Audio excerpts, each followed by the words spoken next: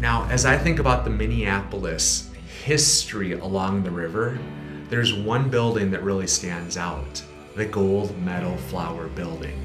I love it that on both sides, no matter which way you're looking at this, you see gold medal flour.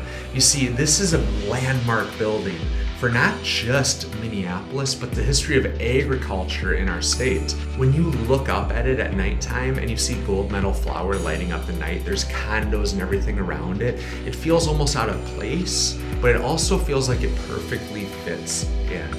This is one of the areas of the Twin Cities, the Guthrie Theaters right here. There's a lot of high luxury condos and apartments around this. They're great restaurants.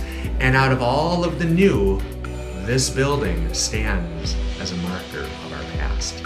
You see just down the street here, what was so amazing back in the, I guess, early days of milling, this area was ravaged by one incident. You see, in flour mills, if there was flour in the air and there was one spark, it would all go to flame.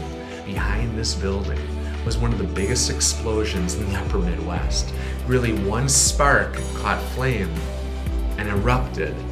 And I love it that amidst all of the wealth, amidst all the luxury, amidst all the art of the Guthrie and what is here in the Mill District, this building remains as a building that just shows where we've come from.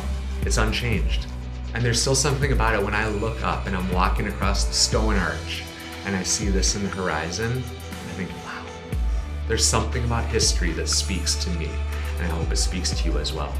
So as you think about this picture, I hope you enjoy where we've been and really how this sits in our present moment as what it is, as what it was.